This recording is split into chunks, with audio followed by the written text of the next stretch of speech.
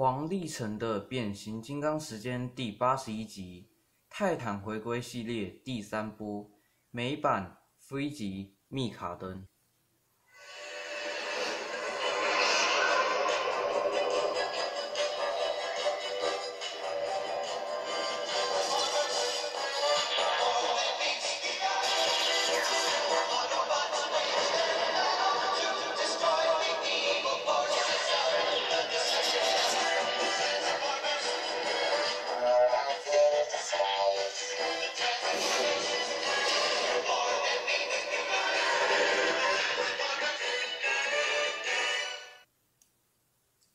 Hi everyone, welcome to 环神的变形金刚时间，这是我们第八十一节节目。今天我们要来跟各位分享的呢是泰坦回归第三波里面，其中一个非常算是在近期的一个玩具中让大家比较受到好评的一个玩具——泰坦回归系列第三波的 Free 级美版密卡登。而这个密卡登呢，在当初其实刚出的时候，就算是有非常多人已经有在分享这一款玩具了。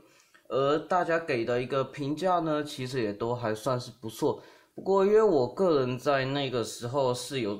在准备那个国中段考的一个部分，所以的话那一段时间就没有去买购买这一款密卡灯，所以的话就在最近购入了这一款密卡灯呢，来跟各位做一个分享。而这一款密卡灯呢，也是我最近在百货公司所购买到的，所以原本是打算有要收厂货，约厂货会比较便宜。不过后来想想，还是收在一个百货公司卖的一个部分好了。然后现在跟各位做这个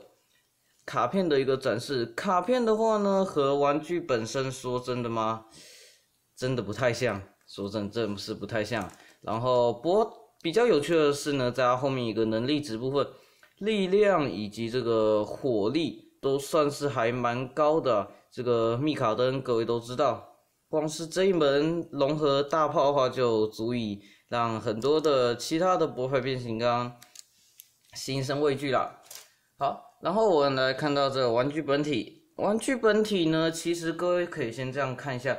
比较明显的是，它这个胸口这个贴纸的一个胸毛的这个贴纸。说实在话，我非常讨厌这个贴纸，因为在我拿到这款玩具的时候，这款玩具是全新的，没有错。但是它这贴纸的一个状况，其实贴歪的一个样子的话是还蛮惨的。这个是对岸对岸代工还是其他什么时候代工的这种品质，真的是令人不敢恭维啊。然后这个密卡灯呢，说实在话。让我在当下看到它的时候，会让我想起，在我第一次接触 G One 这个系列，就是在 G One 一九七八年的时候推出的那个大电影吧，也就是在当初柯博文死掉，然后变成这个罗迪至尊以及金破天的一个那个大电影，是一九七八年还是什么时候？我有点忘记。不过是这款密卡灯让我想到，在当初 G One 里面密卡灯的一个造型，算就形象来讲的话，还是差的有点远。不过就我个人的 YY 啦，然后我又给他制作一个类似 G One 里面的那种武器，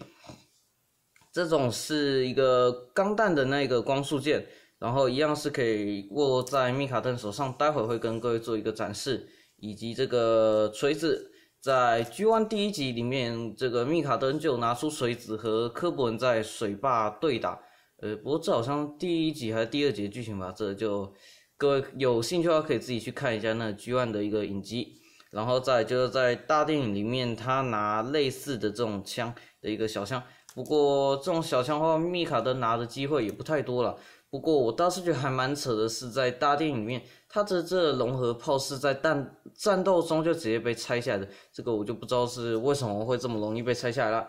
然后我们来看到玩具本身，玩具本身呢，其实在一个密卡登的一个形象部分，算是做的还不错的，一个霸气度的话都有达到非常好的效果。然后这一个泰坦回归系列，顾名思义就是各位知道，都是有一个头领金刚。这个突然金刚花一样呢，是可以做一个拆卸下来的。我们先把玩具放后面。OK，这个头领金刚的一个颜色呢，细节的话比较少，然后可动部分的话，也就跟之前的一个太阳回归系列差不多。OK，细节的话就只能是这样了，就毕竟小型的这种玩具嘛，就不强求太多。然后正面的话呢，我只能说这张密卡登脸真的做的非常的帅啊。虽然在一个神韵的部分不如其他一个第三场的一个密卡登玩具，不过在一个基本神韵的一个拿捏以及这官方品质的这种漆面来讲的话，这个密卡登的一个头雕呢是做的非常成功的。不过就很可惜是，如果没有头顶战士旁边这两只脚的话，这个密卡登的话是几乎跟一个 G One 的一个造型算是非常还原到的一个部分。然后安插的话呢，是头领战士一样是用头领战士的这个头呢去对身体上的一个卡槽，但不知道为什么我在卡上去之后是通病还是怎样，这款密卡登的让人一个感觉是比较像是在往上看，可我个人觉得，你拿一个科博文在旁边的话，照理论来说，科博文是要比密卡登矮一点点的，但是你密卡登往上看的话，就感觉没有到那种比较。高大强壮、霸气的那种领袖的感觉啊，所以的话，我通常会将它这个卡扣稍微松开一点点，让它往下看。俗话说，变形金刚低头帅百倍嘛，对不对？各位可以看到，往下看的话的一个效果的话，是真的有让人觉得，至少让我个人觉得是会比较好看一点的。然后你可以调一些角度，然后再加上旁边这融合大炮的一个，各位看。这种感觉的话是真的会非常的帅气啊！然后开头忘了跟各位介绍这个密卡登的一个身高来讲的，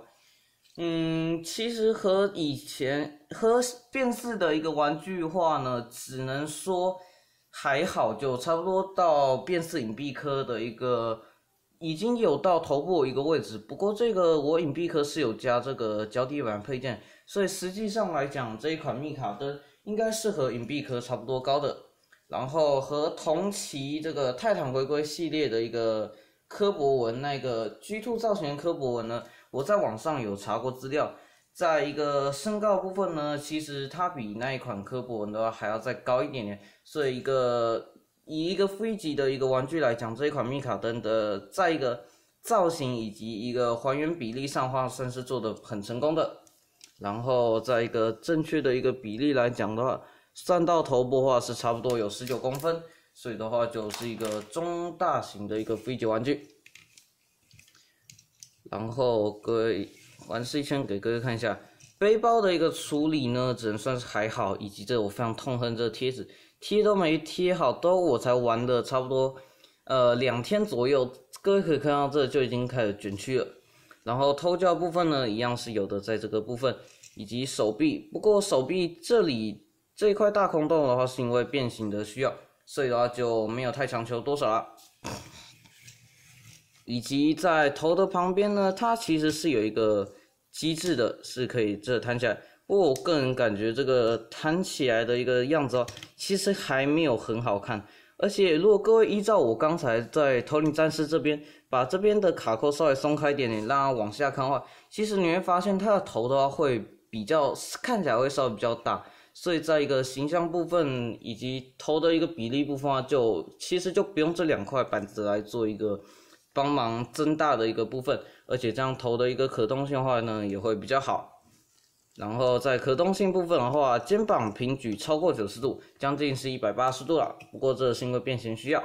然后在二头肌的部分呢，一样是有的。手肘只能达到九十度左右，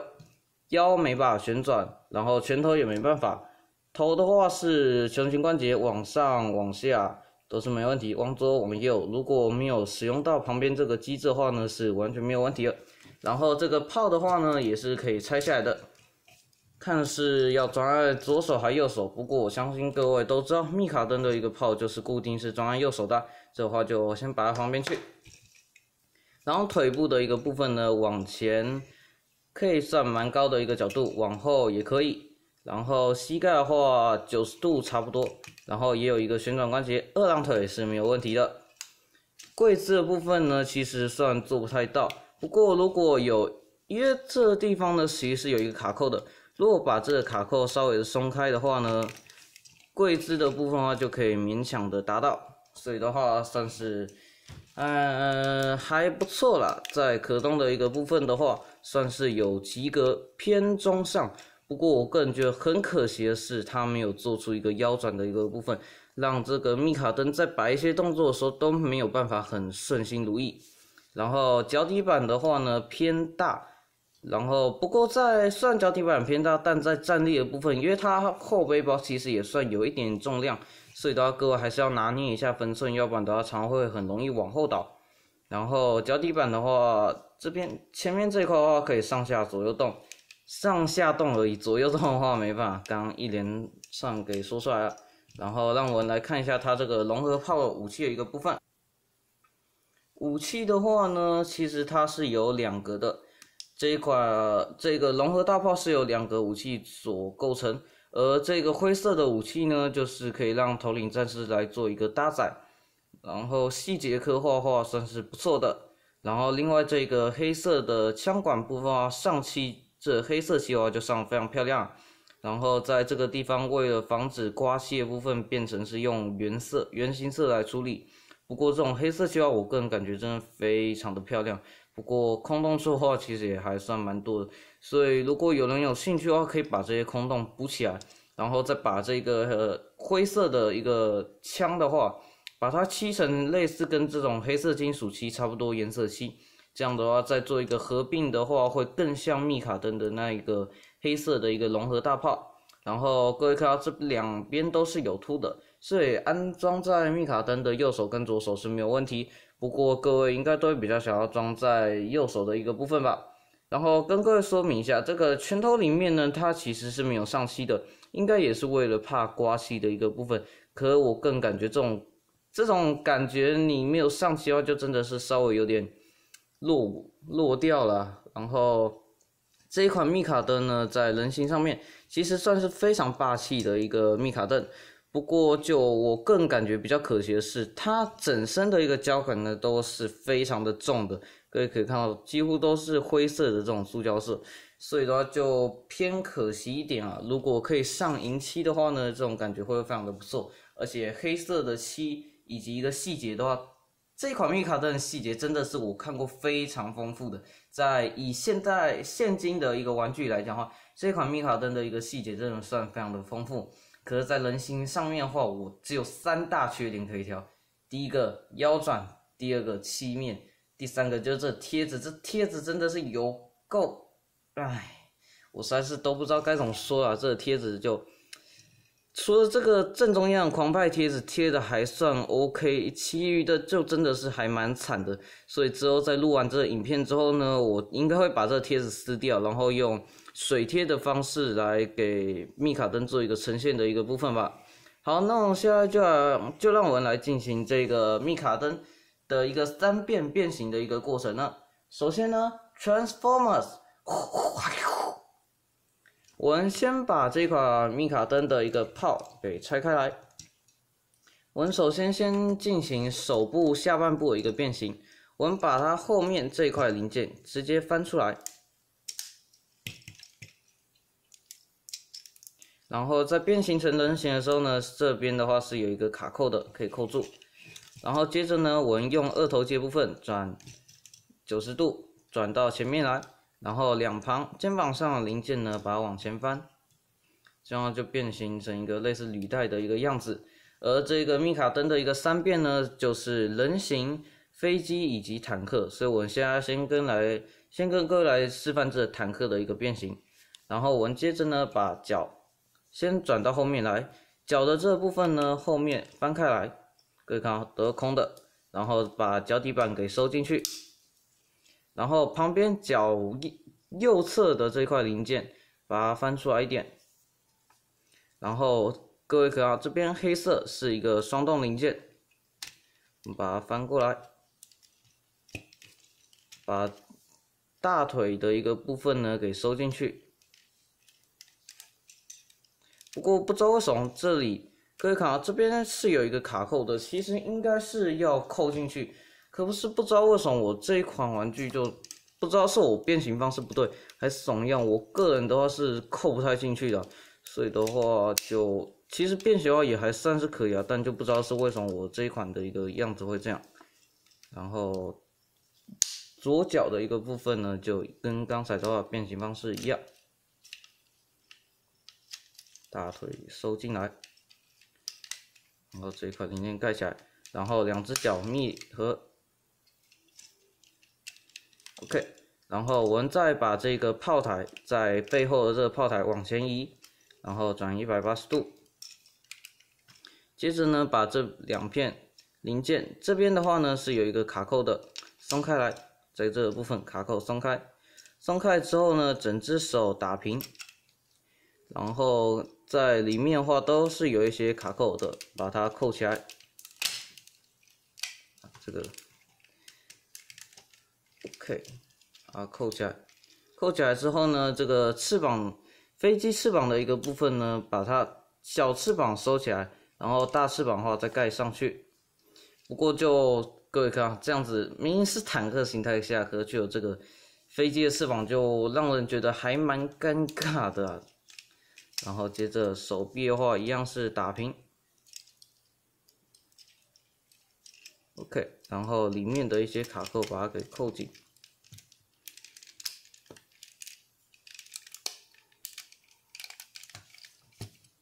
然后翅膀的话一样，然后把头领战士的头呢拔下来就行了。然后最后呢是把这胸口的部分把它往前移。然后炮管的一个部分呢是可以再分开来的，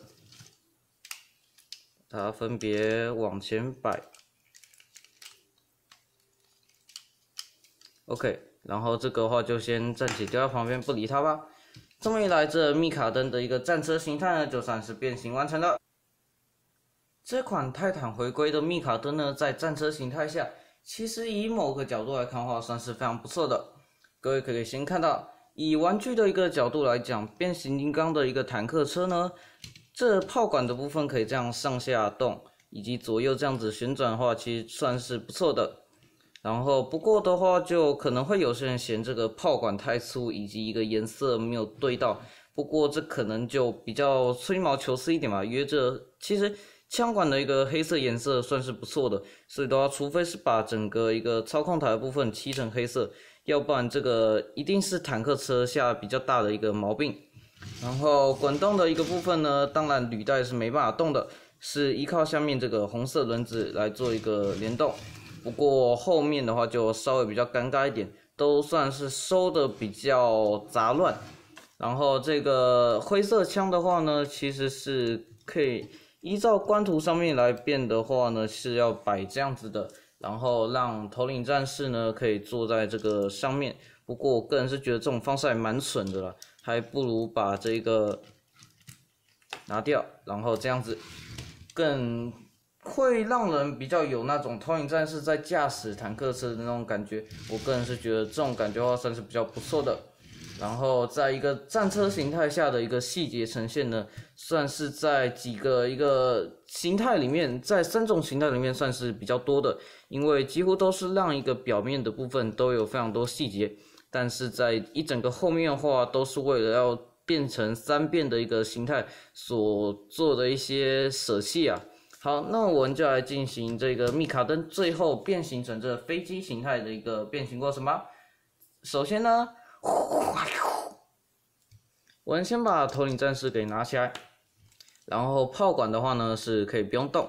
然后我们先把旁边的这个飞机翼呢给打直，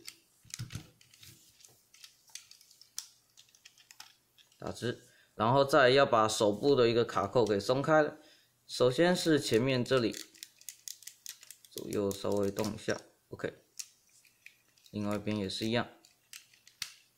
松开来，然后在前面这部分呢，也是手臂的话是有一个卡扣的，这也要松开，然后转一百八十度，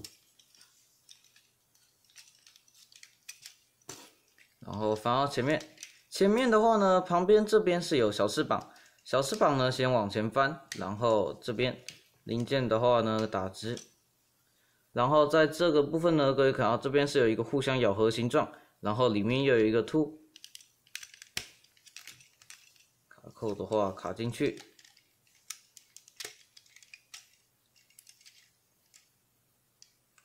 可以稍微调整一下。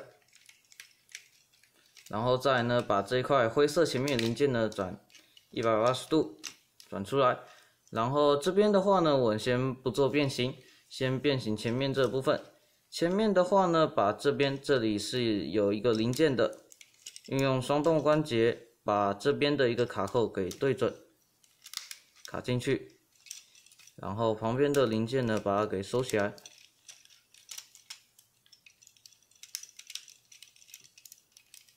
加紧，然后这个炮台的话呢，就转到前面去，变形成飞机时下面的一个火炮，虽然这火炮看起来是还有点巨大的。OK，然后这部分的话呢，一样做一个收纳。OK，然后再来就是统领战士呢，是把我们把这驾驶舱打开，飞机头拿出来。然后这个这个这个变形机制的话，算是我个人觉得在这款飞机上面做的最有趣味的。各位看，就直接让一个泰坦，就直接让一个投影战士坐在这个驾驶舱里面。我个人觉得这种变形角色真的是现在的变形钢非常需要的。好，那我们就变形完这个密卡登三变形态里面最后的一个喷射机形态了。在所谓的这个战斗机或者是说喷射机形态化，其实以上面从一个上面来讲的话，算是做的还不错的。哎，这边卡扣又松开了。不过在后面的部分的话，就稍微是有点烂尾的一个处理啊。各位可以看，就后面的一个部分的话，跟刚才坦克车形态一样，比较杂乱。不过这边的话有这个引擎的一个刻画，算是不错的。不过就很可惜上面的一个。空洞塑化是完全没有做任何弥补的。不过，在一个以战斗机，我我个人是不太挑载具形态的。不过，以我个人这样子的一个审美观念来讲话，算是这个密卡登的一个战斗机算是还不错的一个样子。然后底下的话，这个炮管是稍微略粗了一些。以正常的战斗机来讲，应该是不会搭载这么。厚的一个炮台，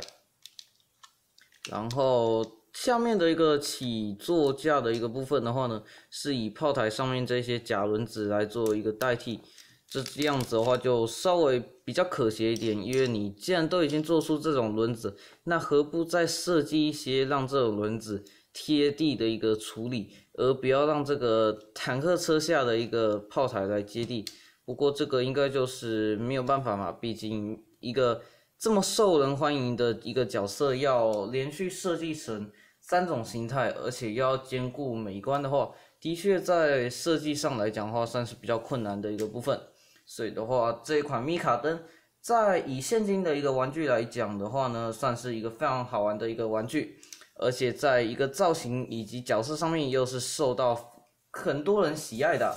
好，那么今天的影片就先进行到这边，希望各位喜欢。如果喜欢我影片呢，可以到下方按赞并分享。想看更多这种影片的话，可以到我 YouTube 频道按下订阅，或者是到我粉 FB 粉丝专业来跟各位看看。